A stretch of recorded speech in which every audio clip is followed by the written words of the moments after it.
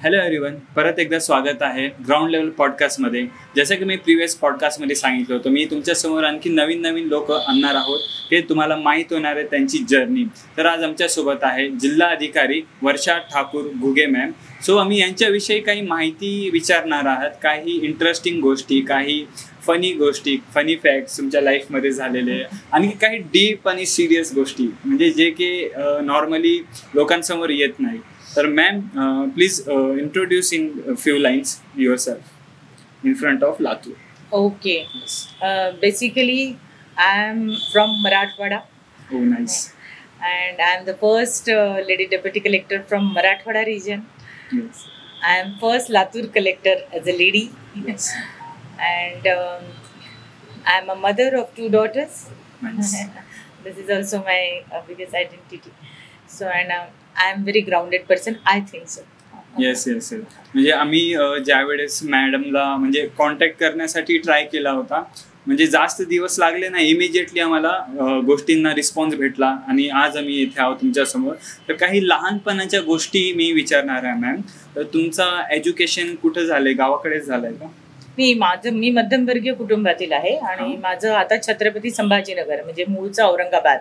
इथे माझं बारावी पर्यंत शिक्षण झालं. म्हणजे दहावी सरस्वती भुवन प्रशाला आणि एक ते चौथी तर अगदीच माझी साधी शाळा होती. सतरंजीवर बसून वगैरे आम्ही शिकलो आहेत. आणि त्याच्यानंतर मात्र पाचवी ते दहावी सरस्वती भुवन आणि मग मी कला शाखा घेतली. तर अकरावी बारावी कला शाखा आणि त्यानंतर मात्र मी भोसला मिलिटरी कॉलेज मिलिटरी कॉलेजमधनं बी ए डिफेन्स स्टडीज केला आणि त्यानंतर मी लॉ पण केलाय. छान. म्हणजे लॉयर पण आहात मॅम. तर ह्या गोष्टीमध्ये मॅडम तुम तुमचं जे जर्नी झालेली आहे तर शाळेमध्ये तुमचे आवडते सर कोणते मॅडम कोणते होते ज्याच्या लेक्चर करण्यासाठी ज्यांचं पिरियड करण्यासाठी तुम्हाला खूप आवडायचं? ऍक्च्युली आता खरं तर शाळेत मला मराठी सब्जेक्ट आवडायचा. अच्छा हां. आणि त्यावेळेस दवणे मॅडम होत्या इंदुमती जोंदळे ज्या आज पण खूप छान लिहितात. आणि. निरखी मॅडम पण आहेत ज्या मला भांगडा वगैरे शिकवायच्या आम्ही गॅदरिंगमध्ये त्यांना छान वर्सेटाईल ऍक्टिव्हिटीज वगैरे सांगायच्या. आणि कॉलेजमध्ये माझे प्रिन्सिपल जे आहेत भोसला मेट्रिक कॉलेजचे त्यावेळेसचे भेंडे सर हे. माझे काही आवडते आहेत. असे सगळेच आवडते होते पण आता तुम्ही. पटकन विचारलं तर हे काही नावं माझ्या डोळ्यासमोर आले. छान छान. तर मॅम गॅदरिंगचा विषय निघाला. तर तुम्ही काय काय ऍक्टिव्हिटी केलेत गॅदरिंगमध्ये? मला? असं वाटतं काय नाही केलं असं विचारायला. पाहिजे तुम्ही कारण हजारो खाईशे मेरी हो, तर. मला सगळंच करायला आवडायचं हो त्यामुळे मी शाळेमध्ये असताना मी फार आउटस्पोकन नव्हते पण नक्कीच सगळ्यात पार्टिसिपेशन करायचे मी गणपती उत्सवाला सुद्धा मोठी बॅग घेऊन जायचे. तर मला वाटायचे सगळं बक्षीस मलाच मिळतील. तर म्हणजे फास्ट सायकलिंग असेल स्लो सायकलिंग असेल. पळण्याची स्पर्धा असेल. पळण्यात मी थोडी कमी होते. पण कबड्डी खेळायचे मी. त्याच्यानंतर हॉकी खेळायचे. त्याच्यानंतर डान्स पण मला खूप आवडायचा. भांगडा आणि गिद्दा वगैरे आम्ही ते पंजाबी जे आहे कारण माझी. ऑल इंडिया कॉलेज होतं भोसलामध्ये. त्यामुळे मराठी कोळी बरोबर आम्ही ते सुद्धा करायचो. I am very bad in singing तरी आम्ही प्रयत्न करायचो. आणि आम्हाला पुस्तकं वाचायला पण आवडतात. तर मला असं वाटतं मला सगळं करायला पाहिजे. तेच म्हणतो म्हणजे काही सोड नाही गेलं म्हणजे सोडला का नाही म्हणजे? आय थिंक की लाईफ इज व्हेरी शॉर्ट आणि तुम्ही सगळं टेस्ट केलं पाहिजे. यू शुड सी म्हणजे सगळे फ्लेवर्स तुम्हाला माहीत असले पाहिजे. मग त्या फ्लेवर मधला कुठला आवडता फ्लेवर आहे हे निश्चित तुमचं आयडेंटिटी असतं. हा राईट एक्झॅक्टली म्हणजे मी जेव्हा दयानंद कॉलेजमध्ये होतो मॅडम. त्यावेळेस आमच्या सरांनी आम्हाला म्हणलं की तू मला एक गोल्ड मेडल आणून देशील. ठीक आहे? मला माहीत नव्हतं कुठून द्यायचं. पण आम्ही मी मिमिक्रीमध्ये मला त्यांनी टाकले. त्यांनी म्हणले तू ट्राय तरी कर. ठीक आहे? येईल नाही येईल ते पुढचा भाग राहिला. तर जस्ट त्याच्यामधून मी मिमिक्रीमध्ये फर्स्ट अटेम्प्टमध्ये गोल्ड मेडल भेटला. म्हणजे गोष्टींना ट्राय तर करून पाहायला that is your strength point Yes. आणखी मॅम आता आपण लातूरमध्ये राहता. मी ॲज अ फूड ब्लॉगर काही क्वेश्चन्स विचारणार आहे तुम्हाला. गुड खाण्यापिण्याबद्दल येस खूप रेस्टॉरंट स्ट्रीट फूड फिरत असतो मी. तर लातूरमध्ये तुम्हाला स्ट्रीट फूडमध्ये कोणता फूड आवडतो? मला पाणीपुरी आवडते मला पावभाजी आवडते. I am a very foodie person हो नाईस म्हणजे मला बरोबर भेटले. पण मी टेस्ट करते. हा. म्हणजे असं एक पॉइंट कोणता? मी रसिकातली? पाणीपुरी घेतली आहे गोदावरीची पाणीपुरी खाल्ली आहे. रेस्टॉरंट मॅक्स सगळे टेस्ट केलेले आहेत. जाऊन कारण मला असं वाटतं त्या ambience मध्ये आणि त्या ठिकाणी बसायला मला आवडतं. आणि मी वेगवेगळ्या याच्यामध्ये कधी मुलगी आली तर तिच्यासोबत जाते कॉन्टिनेंटलला माझे मिस्टर आले हबी आले तर आम्ही त्यांच्यासोबत जाते. आई वडील आले तर मग मात्र वाडा आणि त्याच्यामध्ये पण जाऊ शकते थाळी खायला. सो फ्रेंड्स आले तर आम्ही we decide some different menu so I like food testing आणि मॅम जेव्हा कॉलेजमध्ये असता तर कल्चरल ऍक्टिव्हिटीमध्ये तुमचा किती सहभाग होता? कॉलेजमध्ये ऍक्टिंग आहे ड्रामा आहे. आय नो मला आठवतं शाळेमध्ये तर मी नेहमी ऍक्टिंग करायचे. कॉलेजमध्ये पण मी सांस्कृतिक याच्यात नेहमीच पार्टिसिपेट करायचे. मला मूळतः अँकरिंग खूप आवडायचं सूत्रसंचलन करायला.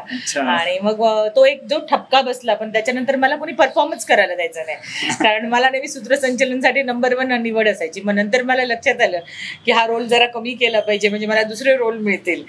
तर बट हे सगळे गोष्टी मी करत असते. कारण मला असं वाटतं की अभ्यासाच्या व्यतिरिक्त सुद्धा मी सगळ्या गोष्टी केलेल्या आहेत. म्हणजे पन्नास टक्के अभ्यास आणि पन्नास टक्के ते असं कॉम्बिनेशन नाईस नाईस आणखी मॅम जसं की स्पोर्ट्सचं आपलं डिस्कशन झालं कल्चरल ॲक्टिव्हिटीचं झालं. तर सध्याच्या युगामध्ये मोबाईल व्यतिरिक्त ठीक आहे आई वडिलांनी कल्चरल ॲक्टिव्हिटीमध्ये फिटनेस लाईनमध्ये आपल्या मुलांना किती पुश केलं पाहिजे? काय मला असं वाटतं की आजकाल आई वडिलांच्याच अम्बिशन मुलांवर बऱ्याचदा थोपवल्या जातात विच इज व्हेरी रॉंग जेव्हा काही वर्षांपूर्वी लहानपण बघितलं तर ते मातीत खेळणं आणि त्यांना जे आवडेल त्या ऍक्टिव्हिटीज करणं आहे. पण आता बऱ्याचदा मी बघितलं की माझं हे राहून गेलं भरतनाट्यम राहिलं म्हणून मुलीला भरतनाट्यमात टाकतात. वडिलांना वाटतं माझं पोहायचं राहिलं. म्हणून ते त्याला वाटतं स्विमिंग चॅम्प व्हावं. तर हे जे खूप रॅट रेस आहे ती न बघता मला असं वाटतं मुलांना त्यांचं लहानपण पण अनुभवता आलं पाहिजे त्यांनी मातीत खेळलं पाहिजे मुलांशी. खेळलं पाहिजे त्या ग्रुपमध्ये खेळलं पाहिजे आणि मोबाईलमध्ये आई वडिलांनी स्ट्रिक्टच राहायला पाहिजे तो काढूनच घेतला पाहिजे. तो फार कमी लिमिटेड स्पॅनसाठी दिला पाहिजे. कारण आपल्याला मोबाईल वापरताना कळत नाही की आपण किती वेळ वापरतोय.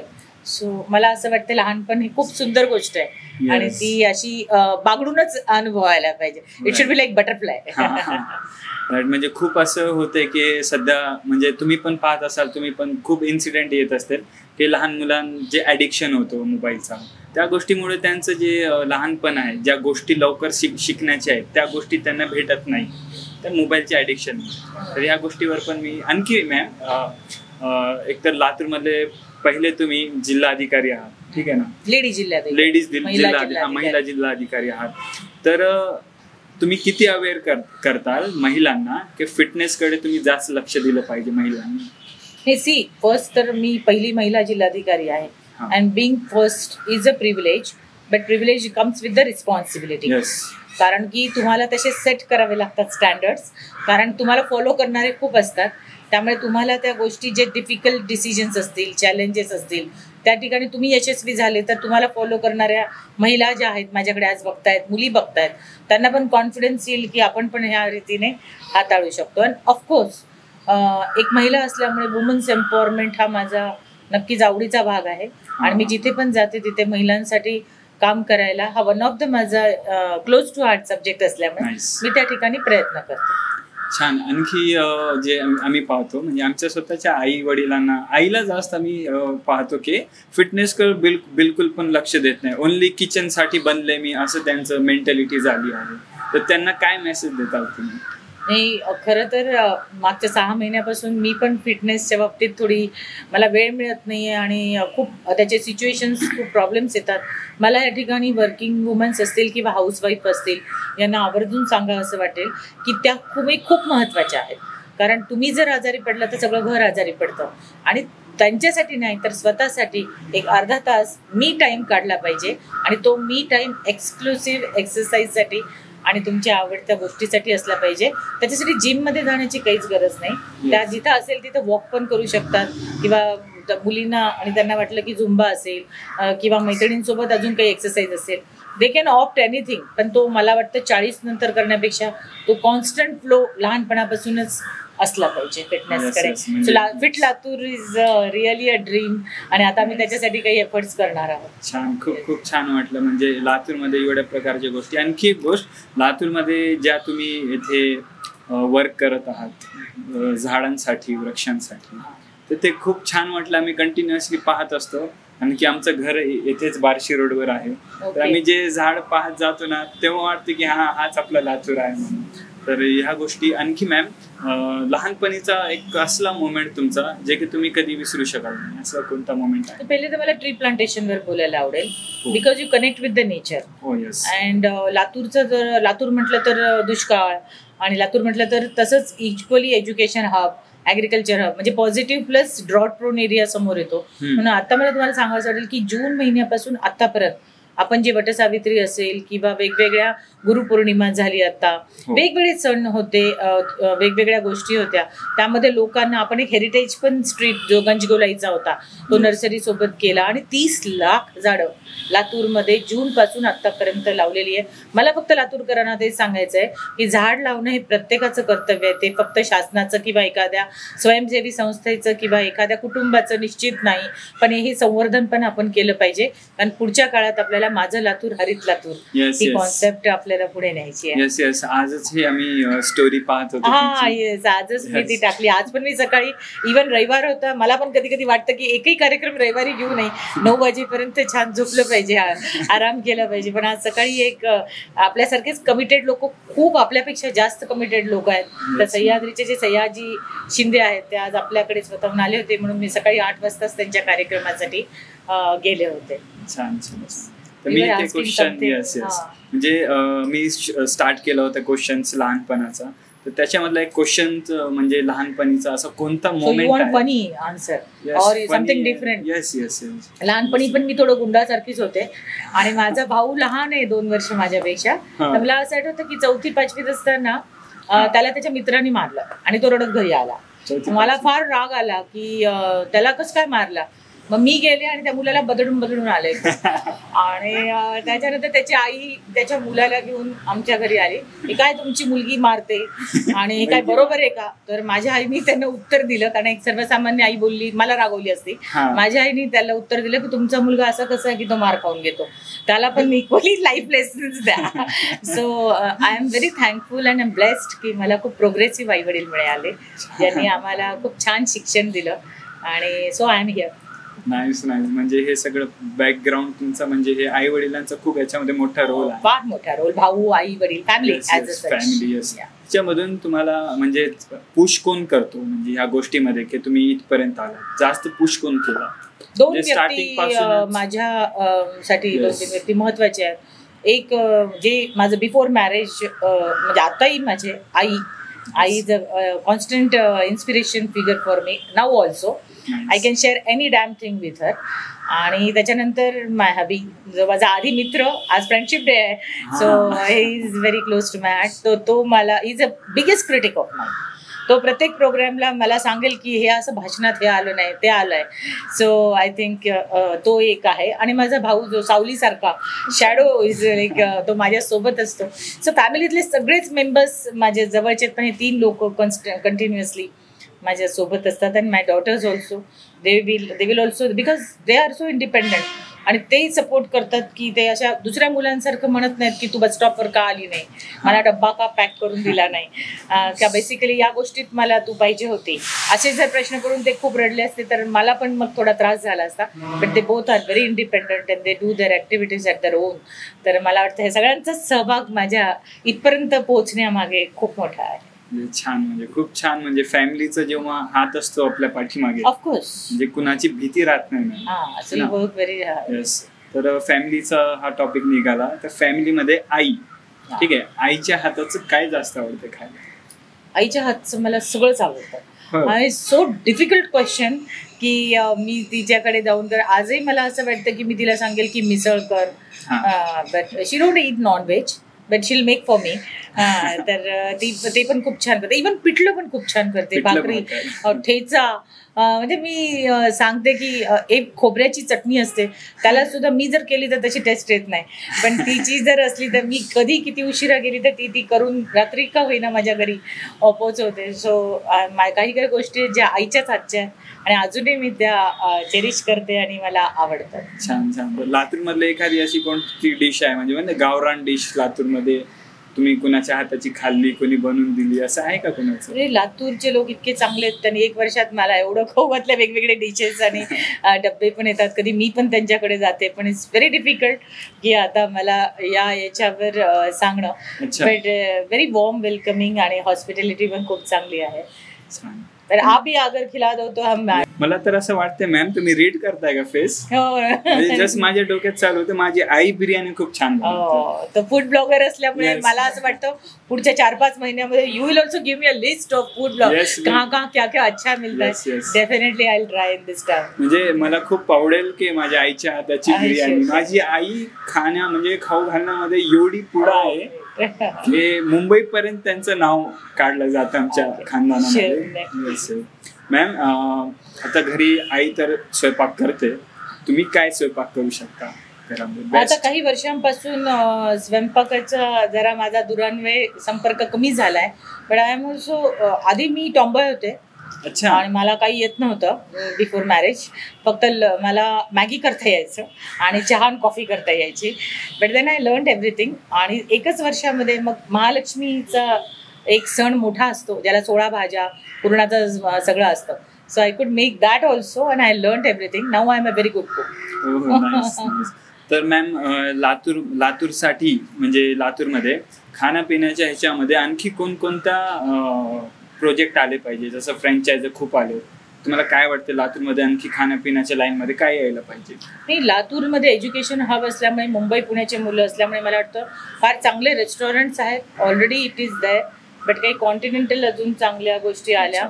आणि त्याच्याबरोबर इकडे सगळंच आहे. मला वाटतं असं फार काही पण ज्या लातूर बेस्ड आहेत. म्हणजे जसं आपण त्या अगदी कुठल्या तरी गावाकडे गेलं तर काळ्या मसाल्यातल्या गोष्टी खायला मिळतात.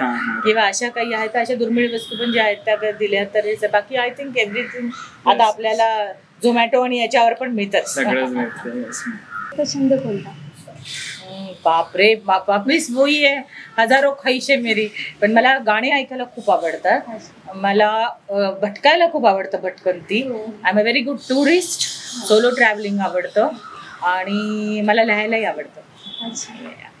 लिहायला आवडतं म्हणजे तुम्हाला पुस्तकं वाचायला पण खूप खूप आवडत. आहे मग बरेचशीच रीडर मला पुस्तकं सगळ्या प्रकारची पुस्तकं आवडतात. ऑटोबायोग्राफीज जास्त आवडतात. मग तुमचं एखादं फेवरेट पुस्तक जे तुम्ही सजेस्ट कराल सगळ्यांना? इकिगाई एक छान आहे सध्याच्या ह्याच्यात हो. The power of subconscious mind is one of the Tuesdays with the movie असे भरपूर आता सध्या लातूरमध्ये जो उपक्रम राबवत आहेत माझे लातूर हरित लातूर. हा. आणि तो खूप छान प्रकारे राबवत आहे. तर त्याबद्दल काय सांगाल? नाही माझं लातूर हरित लातूरमध्ये खरं तर लातूरकरांचं पहिल्यांदा मी आभार मानते की त्यांनी इतक्या चांगल्या रीतीने प्रतिसाद दिला. एक वटसावित्रीचं सांगितलं तर महिलांनी एक लाख झाडं लावून टाकली. हो. आता तीस लाख झाडं जून पासून आतापर्यंत लागलेत. गुरुपौर्णिमेचं सांगितलं तर गुरुच्या नावाने झाडं लावली. हरितोत्सवामध्ये सगळ्यांनी नर्सरीवाल्यांनी पार्टिसिपेट केलं. आता पंधरा ऑगस्टला देश के नाम एक पेड असं ते आपण केलंय. एक घर एक झाड एक विद्यार्थी एक रोपटं. तर असं राखी पौर्णिमेला पण आपण अपील केलंय भावाला. ओवाणीच्या स्वरूपात तुम्ही रोपटच द्या. तर असे अनेक उपक्रम चालू आहेत. वी जस्ट ड्रीम की हे लातूर हरित लातूर झालं पाहिजे पर्यावरण. हा उपक्रम म्हणजे एक सक्सेसफुल उपक्रम झालाय. तर आम्ही आणि लातूरकर पण एक्साइटेड आहोत की पुढचा उपक्रम काय असेल लातूरसाठी? हे अनेक उपक्रम आपल्या मनात आहेत. जसं पर्यावरणाचं एक ट्री कॉरिडॉरचं मी सांगितलं पण सोशली पण काही कनेक्टेड आहेत. की जसं डीपनेस आता आपल्याकडे खूप आढळतो. जर बारा ते पंधरा मुलांमध्ये एक मूल हे ऐकू शकत नाही आणि जर हे अर्ली इंटरव्हेन्शन झाले आणि त्यांना ग्रामीण भागामध्ये जर आपण सोयी उपलब्ध करू शकलो तर त्यांचा आपण डिफनेस काही ठिकाणी आपण क्युअर करू शकतो. अशा अनेक प्रोजेक्ट्स आहेत. भटक्या विमुक्त जातींसाठी पण आपण एक प्रयोग सुरू केले आहे. त्यांना भरपूर आपण कास्ट सर्टिफिकेट आणि इतर गोष्टी देतो पण त्यांना मूळ प्रवाहात आणण्यासाठी आपण काही काम करणार आहोत. आपल्याला जी आय मानांकन मिळालेलं आहे चिंच कास्त कोथिंबीर याला मार्केट लिंकेज देण्यासाठी आपण प्रयत्न करणार आहोत. असे अनेक प्रोजेक्ट्स आहेत. बांबूचं पण प्रमोशन मिलेटचं प्रमोशन आपण बांबूचा अभ्यागत कक्ष कलेक्टर ऑफिसमध्ये करायचं आपण प्लॅन करत आहोत. So there are many projects which we are looking forward आज फ्रेंडशिप डे आहे. तर त्यानिमित्त मला विचारायला आवडेल की तुमच्या शब्दामध्ये मैत्रीची व्याख्या काय आहे? म्हणजे लाईफमध्ये मैत्री कितीपत आवश्यक आहे? मला असं वाटतं मित्र मैत्रीण नसतील तर लाईफ व्यर्थ आहे. कारण एकमेव असतात की ज्यांना तुम्ही शेअर करू शकतात. बिकॉज बाकीचे नाते हे ब्लडनी आलेले असतात ना रक्ताचे नाते असतात. आई वडील हो. भाऊ बहीण हे आपण चूज करू शकत नाही. पण मित्रमैत्रिणी आपण चूज करू शकतो. आपण त्यांना कनेक्ट होऊ शकतो. आणि विश्वासाचं सगळ्यात सुंदर नातं हो. हे म्हणजे मित्रमैत्रिणींचं नातं आहे. So is the most beautiful friendship day म्हणजे वेगवेगळ्या वेमध्ये साजरा करतात. जसं की गिफ्ट देणं असेल किंवा पार्टी वगैरे करणं तर तुम्ही कशा प्रकारे साजरा करता? फ्रेंडशिप डे तर मला वाटतं तीनशे पासष्ट दिवस फ्रेंडशिप डे आहे. कारण की जेव्हा पण मला वाटतं मी दिवसातनं माझे काही रेग्युलर फ्रेंड्स आहेत त्यांना कनेक्ट होण्याचा प्रयत्न करते. ॲज आय सेड की फोन कॉल्स असते गिफ्ट घ्यायला तर मला आवडतंच पण माझा नवरा कधीच गिफ्ट देत नाही. तो फार कमी गिफ्ट देतो. So I always complain him की you are very bad in that तर आणि मित्रमैत्रिणींसोबत एक छान संध्याकाळ विथ लाईव्ह म्युझिक असं पण आम्ही करतो. गेट टुगेदर करतो. मैत्रिणींना बोलवत राहतो वेगवेगळ्या कॉन्सेप्ट जे असतात ते रील पण बनवतात. So I enjoy everything with them whatever I can तर हे सगळंच करते मी. तुमची अशी एखादी मैत्रीण आहे का की जी लहानपणापासून सोबत आहे आणि आता पण सोबत आहे? लातूरमध्येच आहे. माझ्या कॉलेज पासूनची मैत्रीण आहे अंजली टेंभुर्णीकर. ती दयानंद कॉलेजला प्राध्यापिका आहे. तर आम्ही अकरावी बारावी पासून सोबत आहे ना आतापर्यंत आमची मैत्री कायम आहे. तर माझ्या अगदी लहानपणापासूनच्या मैत्रीण. भोसला मिलिटरी कॉलेजच्या माझ्या मैत्रिणी हिरेशा प्रवीणा जे गोय गोव्याला आहे डेहराडूनला आहे. So we are very connected हे जो बोलते ना की. मुलांचीच मैत्री टिकते आणि लग्नानंतर मुलीची मैत्री टिकत नाही. साफ खोट आहे.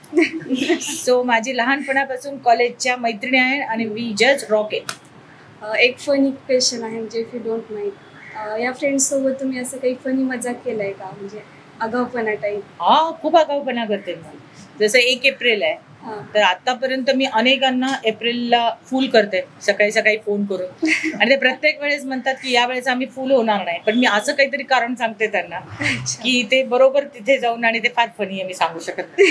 तर त्यांना प्रत्येक वेळेस I fool them tell them की yes I can fool you as a collector म्हणजे कामाचं ताण त्यांना ऑफकोर्स असणार.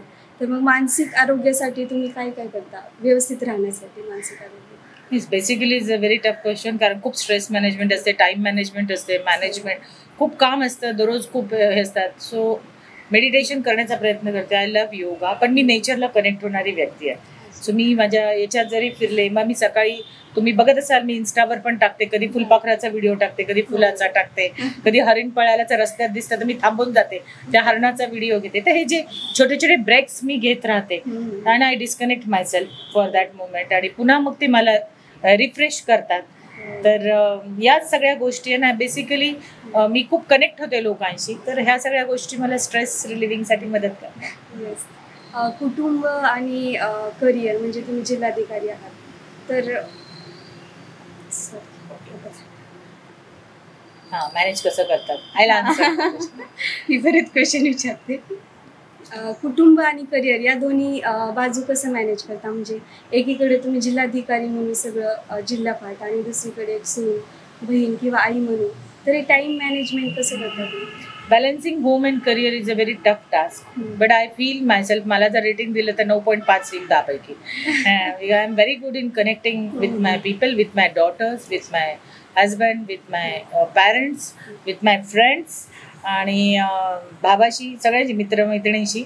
तर मी त्या वेळा मॅनेज करते. नॉट बिलीव्ह की मी जेव्हा पण घरी जाते तर माझ्या सगळ्या मेड्स आहेत. Which I call life lines हा, तर त्यांच्यासाठी चार्ट करून ठेवते की माझ्या मुलीच्या डब्यात काय काय द्यायचं आहे सोमवारी काय द्यायचं आहे मंगळवारी काय द्यायचं आहे so and WhatsApp university is very useful now so I keep किती किती जेवली आहे खाल्लं आहे so I monitor them without feeling कितीला कळत नाही मी मॉनिटर करते सो अशा गोष्टी पण आहेत की ज्या of course there are some times you feel guilty you are not with them but तो कमी असतो. नो नीड बिकॉज मी त्यांना असे काही क्षण देते क्वालिटी टाईम की त्यावेळेस ती गिल्टी असं ड्रायव्हिंग जसं मी गेल्यानंतर अर्धा तास माझ्या मुलीसोबत ड्राईव्ह करते. That is the best quality time coffee शॉपमध्ये मी नवऱ्याला देते. वी आर अगेन फ्रेंड त्याचं प्रत्येक आई- आईला भेटते. तो आईला मंदिरात जाऊन घेऊन जाते. आणि मैत्रिणीसोबत ट्रेकला जाते सकाळी सकाळी. सो आय फील की यू कॅन कनेक्ट असे भरपूर चौकटी असतात. आणि घरी गेल्यानंतर आपण जेव्हा जातो तेव्हा I am not a collector I am a wife of everyone I am a mother of two daughters I'm, मी मुलगी आहे बहीण आहे. तर आपण त्या नात्यामध्ये गेलो तर मग त्रास होत नाही. मग ते कॉन्फ्लिक्ट होत नाही. दोन्ही it's difficult but it is manageable तुम्ही तुमच्या मुलीला काय मेसेज देता असं की आज प्रत्येक आईने आपल्या मुलीला तसा मेसेज दिला पाहिजे? आताच्या जनरेशनला गाईड केलं मेसेज दिलेले आवडतात का? सो आय फील की मी मेसेजेस देत नाही. मी जे करते ते ॲक्शन्स मधनं दाखवते.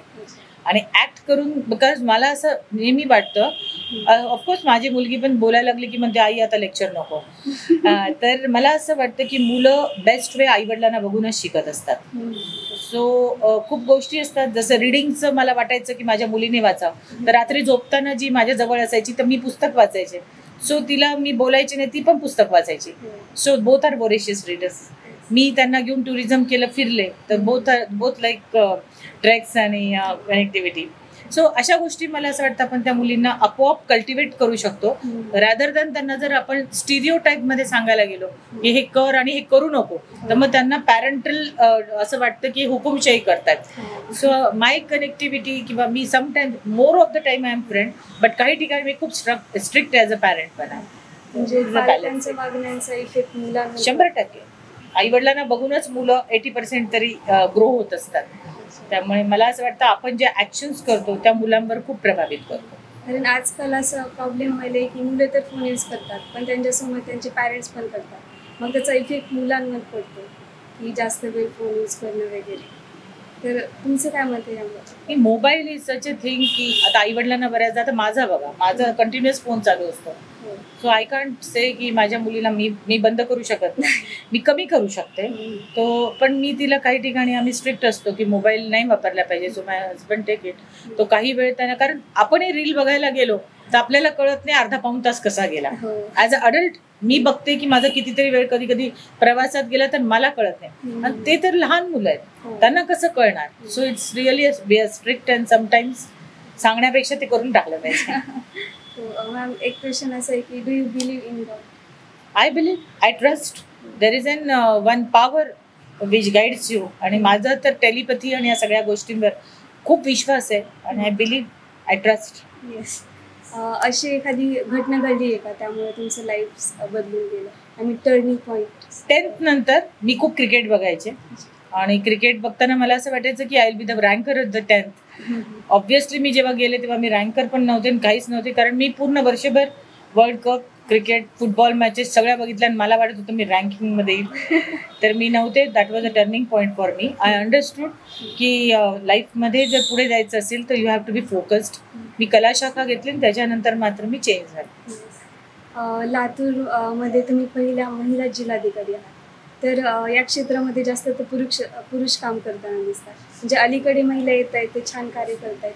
पण लातूरची पहिला पहिली महिला जिल्हाधिकारी म्हणून काम करताना तुम्हाला काय वाटतं? किंवा काय अडचणी आल्या आजपर्यंत? नाही मी ॲज अर्लियर सेड की first to become a first is a privilege. पण ती रिस्पॉन्सिबिलिटी पण क्रिएट करते. Because you have to prove with the standards. एक हाईट आणि लोक बघत असतात. सो आय फील इफ तुम्ही जर खूप प्रोॲक्टिव्ह असाल. आणि तुमच्या ॲक्शन्स खूप फ्रँक असतील चांगल्या असतील आणि I treat myself as a officer first and then I am a lady officer तर कुणालाही माझ्या लोकांना मला बोलताना झिजक नाही आहे they can share with me and I believe in teamwork. तर या सगळ्या गोष्टी मला वाटत नाही फारशा अडचणी येतात ज्या एक ऑफिसरला येतात त्याच येतात हा टाइम कन्स्टंट असतो. कधी कधी की दहा नंतर ज्या इमर्जन्सी वर्क्स आहेत I do that only I not do other works पण मला वाटतं असं काही फार नाही आहे की वे- आपण काही करू शकत नाही. मॅम जस्ट इमॅजिन की समाजामध्ये तुम्हाला कोणतीही एखादी गोष्ट चेंज करण्याची संधी मिळाली. मला तर खूप संधी आहेत ना. As a collector I can change but मला असं वाटतं की मुलींच्यासाठी लग्नानंतर जे बायोलॉजिकल एज आणि मॅरेज एज जे क्लॅश होत आहे प्रत्येक मुलीला वाटतं की जेव्हा ती पंचवीस ते अठ्ठावीसमध्ये असतं. तर मॅरेज करायचं का करिअर करायचं आहे आणि तो जो क्लॅश होतो तर समाजाने त्या मुलींना समजून घेतलं पाहिजे. आजही मुलींकडे हुंडा बघणं त्यांना इव्हॅल्युएट मॅरेजच्या त्या टिपिकल कन्स्टंटमध्ये बघतात. I think I want to change that madam तुम्ही सांगितलं की तुम्हाला दोन मुलीच आहेत. तर एक अशी कुठली गोष्ट आहे जी तुम्ही खूप आवर्जून त्यांना लहानपणापासून शिकवत आलाय? मुली असल्यामुळे स्पेसिफिकली अन्याय सहन करायचा नाही. आणि economic independence is the best thing त्या दोघी न सांगितलं मी की financially you should be independent before marriage त्या फॉलो करतात मला सांगायला आवडेल माझी मोठी तर आता कार्निगी मेलनला you एसला and she is doing her job आणि तिला आता खूप छान ती फाय इंडिपेंडंट आहे. आणि छोटी पण टेन्थमध्ये पण ती खूप इंडिपेंडंट आहे. आणि ते सगळ्या गोष्टी त्यांच्या खूप चांगल्या रीतीने करतात. आणि they can face any challenge मला वाटतं मुलींना सगळ्यात चांगलं की त्यांनी कुठल्याही गोष्टीत त्यांना त्यांचा कॉन्फिडन्स पाहिजे की they can face any challenge rather than crime आणि तुमच्या तालमीत तयार झाल्या नाही. आर ॲट दर ओन मी जास्त शिकवत नाही. मला असं वाटतं स्वतःच ग्रो झालं पाहिजे. बरोबर. पण एक मुलांमध्ये आणि आईमध्ये एक सततच तो एक जनरेशन गॅप राहणार.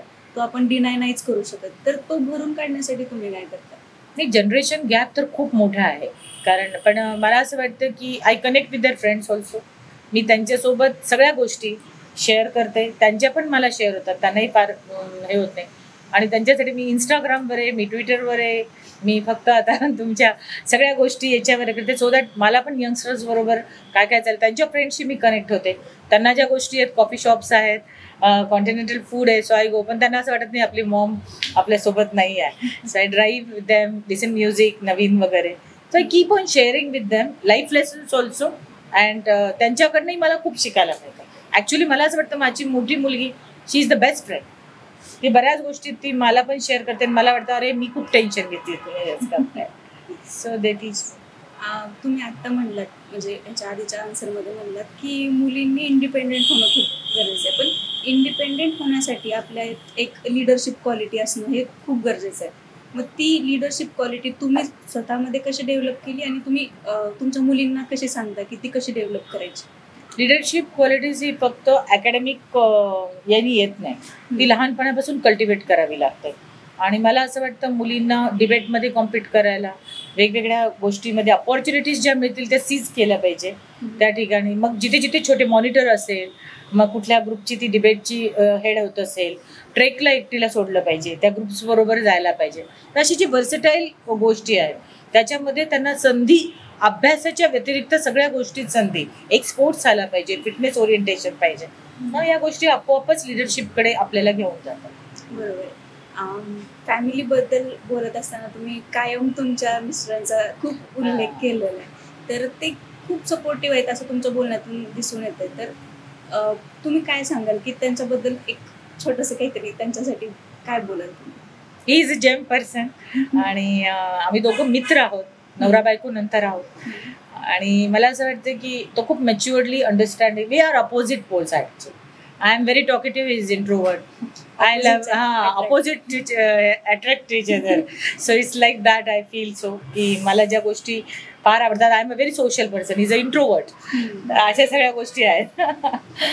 त्यांच्यातली म्हणजे तुम्हाला सपोर्ट करतात ही तुमची फेवरेट क्वालिटी आहे का त्यांच्यामधली? तुम्हाला प्रत्येक गोष्टीत support no he is a marathon play तो फिटनेस ओरिएंटेड आहे. He is very discipline I am very maths fellow मी इकडे तिकडे गोष्टी ठेवेल वगैरे. आणि तो व्हॅल्यूजला खूप इम्पॉर्टन्स देतो त्याच्या लाईफमध्ये आणि त्याच्याकडनं पण मी बऱ्याच गोष्टी शिकत असते. So this are things makes him special person in my life yes आता इतके वर्ष प्रशासनामध्ये काम केल्यानंतर वगैरे तुम्हाला असं सेल्फ डाऊट येतो का कधी? की मी ह्या गोष्टींमध्ये कमी पडते किंवा मला हे जमत नाही असं सेल्फ डाऊट तुम्हाला स्वतःला येतो का? नाही सेल्फ डाऊट येत नाही मला because I I have my own confidence पण मला असं नेहमी वाटतं की मी याच्यापेक्षा चांगलं करू शकले असते. आणि मला वाटतं ते वाटणं हे खूप गरजेचं आहे.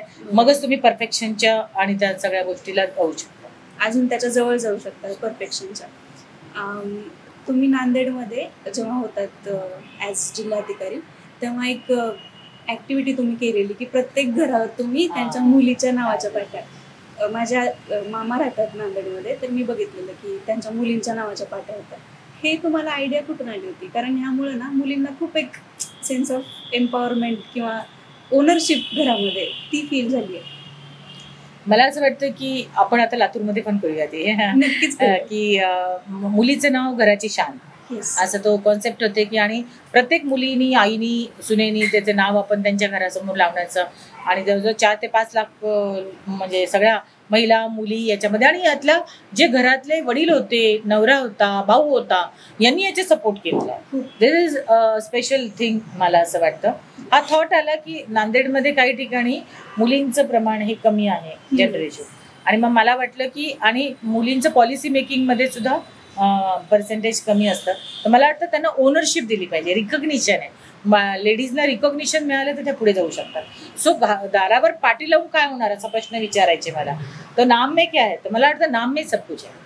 है ना? सो रिकॉग्निशन जेव्हा येतं तेव्हाच पुढचा प्रवास सुरू होतो. So I feel this is very important step आणि मला ही खूप आवडली होती ऍक्च्युली खरं तर गोष्ट.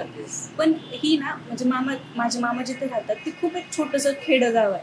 तर तितकं त्याचं पेनिट्रेशन त्या ऍक्टिव्हिटीचं तितक्या एकदम होऊ शकत नाही तुम्ही कसं ते घडवून आणले? नाही आम्ही शाळेतल्या तिथं मला असं वाटतं ती क्लोज टू हार्ट झाली आणि त्याच्यासाठी शाळेतले शिक्षक मुली त्याच्यानंतर शिक्षिका समाजातल्या लोकप्रतिनिधींना सुद्धा आम्ही बुके द्यायच्या ऐवजी ती पाठी द्यायचो. त्यांच्या वाईफच्या नावाने त्यांच्या मुलीच्या नावाने.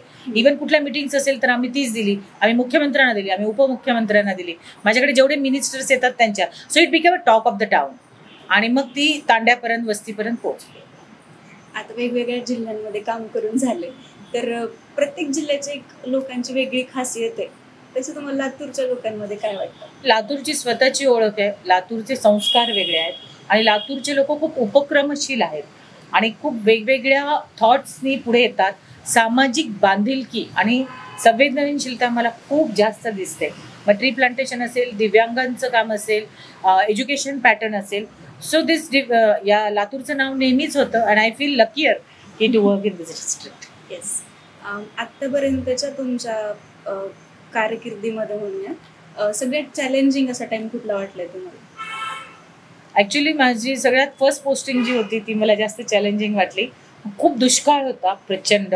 सगळीकडे टँकर्स होतात आणि एका ठिकाणी माझा थोडा आमदारांबरोबर क्लॅश झाल्यामुळे माझ्यावर प्रचंड दगडफेक झाली होती. आणि त्याच्यातनं मग मी आणि ड्रायव्हर आणि सगळेजण फार चॅलेंजिंग याच्यातनं त्या गर्दीतनं वगैरे गेलो. It was as it was my first posting I face lot of issues तर पण त्याच्यातनं मी खूप शिकले. मला असं वाटतं की ती दगडफेक आणि ते चॅलेंजेस म्हणजे Sillod is very close to my heart that posting is very close to my heart त्यांनी मला रिकॉग्निशन दिलं मला कॉन्फिडन्स दिला. पण असे एखाद दोन इन्सिडेंट्स येतात पण ते त्यावेळेस खूप टफ वाटतात पण ते आयुष्याला एक नवीन वळण देतात आणि तुम्हाला खूप काही शिकवून जातात. पण पहिल्याच पोस्टिंगवर हे इतकं मोठं तुमच्यासोबत एक इन्सिडेंट घडल्यामुळे तुम्ही खचला नाहीत किंवा मग हे सोडून देऊया आपल्याला नको हे असं नाही दॅट वाटत टाइम युअर फॅमिली फ्रेंड्स आणि तुमचे बॉस हे लोक खूप रोल प्ले करतात. असं होतं कधी कधी आयुष्यात की जेव्हा चॅलेंजिंग घटना येतात तेव्हा तुम्ही लो फील करतात. पण त्यावेळेस मग तुमच्या सपोर्टिव्ह जे घटक असतात ते तुम्हाला मी जसं सांगितलं की माझी आई माझे मिस्टर माझे मित्र माझी मैत्रिणी माझे बॉसेस पण त्यावेळेस चांगले होते. बिकॉज द वे तुम्ही जसं म्हणतात ना जसं पेराल तसं उगवाल. तसं तुम्ही जितक्या लोकांना तुमचे चांगले पॉझिटिव्हिजम और प्रोएक्टिव्ह याच्यातनं आय एम व्हेरी वर्कहोलिक तर मी खूप काम करते त्याच्यामुळे त्यांना माहीत होतं की ही जर असा इन्सिडेंट होत असेल तर निश्चित काहीतरी इश्यूज असेल. So they wholeheartedly supported yes तुमच्या इतक्या बोलण्यातून असं एक दिसून आले की तुम्ही खूप कॉन्फिडंट आहेत स्वतःमध्ये. असं तुम्हाला भीती किंवा असं की नेगेटिव्ह तुमच्या भावना खूप कमी आहेत. तरीही एक जे आपल्याला थोडंसं एक असतं की काहीतरी पास्टमधली आपली एखादी गोष्ट आपण नीट करायचं असं थोडंसं कधीतरी येतं मनात रिग्रेट होतो. तर तुमच्या त्या एक यंगर सेल्फसाठी तुम्ही काय मेसेज देणार आहात? जर तुम्ही समजा नवीन नवीन जेव्हा जॉईन केलं किंवा कॉलेजमध्ये होतात. म्हणजे मुलींसाठी नवीन माझ्या. स्वतःसाठी. I want to to get my fitness back त्या ट्रेक्स होत्या ज्या कॉलेजमध्ये असताना आम्ही अवघड अवघड करायचो. तर आय थिंक आणि थोडासा स्पीड कमी करून मी टाईम पण मला द्यायचा आहे. तर या काही गोष्टी मला जसं मी पहिल्यांदा माझा मी टाईम असायचा आणि मी छान टू व्हीलरवर जायचे बाईकवर जायचे. तेव्हा असे छोट्या छोट्या गोष्टी ज्या आपण एन्जॉय करतो. तर अ, आणि काही गोष्टी राहून पण गेलेल्या आहेत. तर त्या पण करायच्या आहेत. तर असं आहेत भरपूर प्लॅन्स. आणि ते तुम्ही करणार पुढे यापुढे मॅमनी एवढा आम्हाला टाइम दिला त्याबद्दल थँकफुल आहे मी आमची टीम सगळी. सो मॅम हे ग्राउंड लेवल पॉडकास्ट जे लातूरच्या लोकांना प्रेझेंट व आणखी आर्टिस्ट लोकांना प्रत्येक लोकांना प्रेझेंट करण्यासाठी हा प्लॅटफॉर्म आम्ही क्रिएट केलाय. तर तुम्हाला कसं वाटलं हा ग्राउंड लेवल पॉडकास्ट सी मला असं वाटतं की जसं स्टार्टअपची कॉन्सेप्ट आहे अनेक मोठे मोठे चॅनल्स आणि हे येत असतात. पण मला याच्याबद्दल वाटलं की सगळे यंगस्टर्स आहेत. आणि जे स्वतःचं रिकग्निशन अस्तित्व आणि याच्यामध्ये ब्रँडिंग करण्यासाठी आज पुढे येत आहेत. लातूरमधले आहेत. तर म्हणून मला असं वाटलं की मी तुमचा प्लॅटफॉर्म यूज करावा. आणि. या गोष्टीने तुम्हाला सुद्धा एक वेगळ्या रीतीने हा तुम्ही सुरू केलेला बिझनेस आहे किंवा त्यामधल्या तुमच्या गोष्टी आहेत. तर या प्लॅटफॉर्मला तुम्हाला जास्तीत जास्त यश मिळो. ही मी तुम्हाला सगळ्यांना विश करते. आणि ॲज अ यंगस्टर्स मला छान वाटलं की मेडिकल इंजिनिअरिंग सोडून सुद्धा अनेक क्षेत्र लोकांकडे उपलब्ध आहेत. तर ही यंगस्टर स्ट्रीम लातूरची ही या प्र प्रकारे पुढे येत आहेत हे बघून मला छान वाटलं. So I accepted your invitation thank you so much ma'am thank you. So much you so much. Podcast बघण्यासाठी.